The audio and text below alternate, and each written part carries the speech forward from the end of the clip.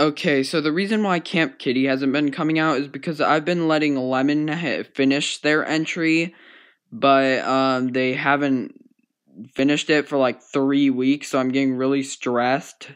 So, gamer, if you're watching this, please finish, or else I'm gonna have to like end the challenge and make it so the next episode comes out for once.